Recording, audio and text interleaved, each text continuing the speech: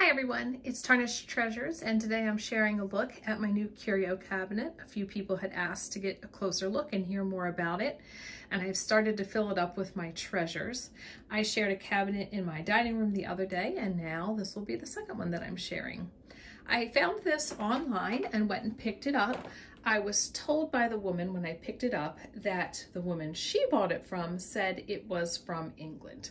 I don't know if that's true or not, but that's what I was told. On top, it has a mirror. Some of the silver has speckled, so that definitely shows its age. It's a dark wood, and there are uh, two glass shelves on the inside. It does have this key and a lock that works. And then down below, there is a shelf that has uh, had a repair. There's a lot of glass and mirrors, but I think once the door is open, you'll be able to get a better view. The door has curved glass in the front, and that is held in with some cording here at the top and some wood on the sides.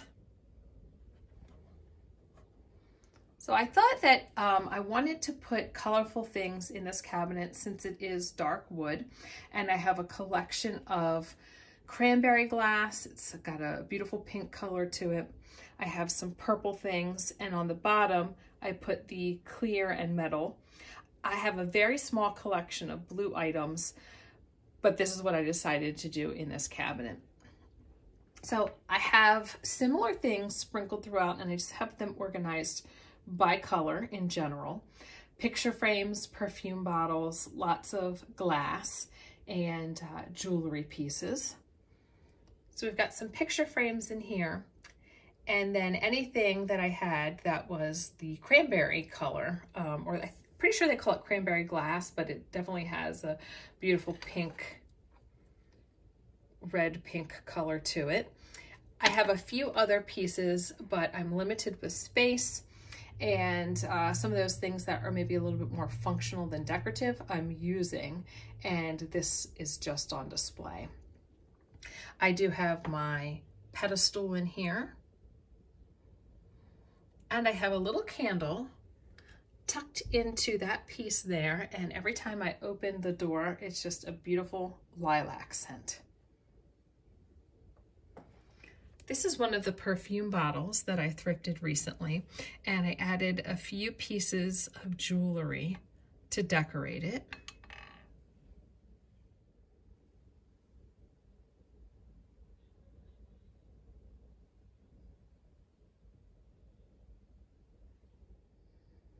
On the second shelf, I've concentrated some of my purple items Again, I have some more than this, but this is what I decided to put in.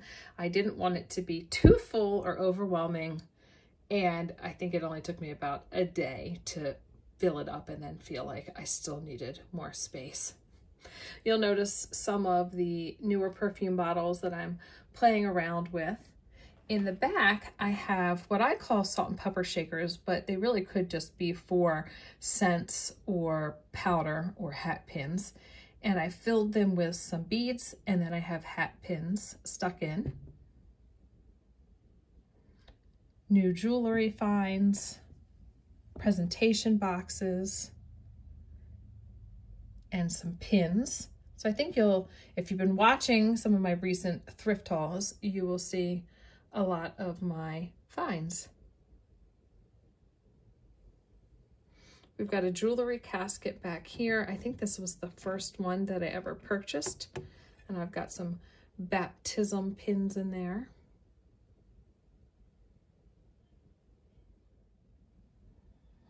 I'm getting in close so you can take a peek at everything.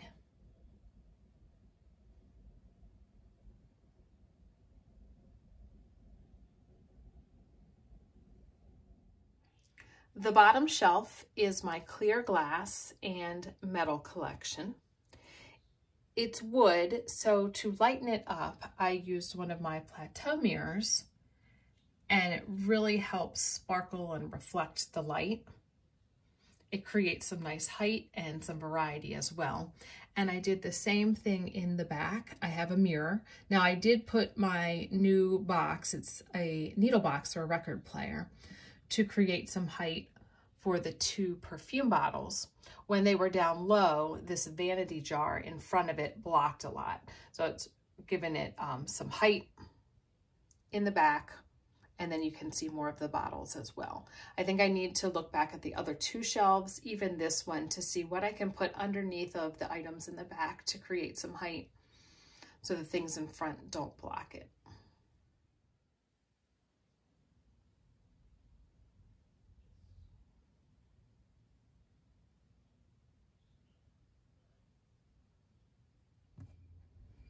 On the bottom shelf, I have a picture frame, perfume bottles, and some of my older books that have the beautiful covers, gold and floral designs. The bottom book is too tall to stand up, so that's why I have these laying down. And I have them fanned out so a little bit of each cover can peek out. But it would be nice to stand them on top of the big book and maybe find a marble bookend. That's a thought for the future.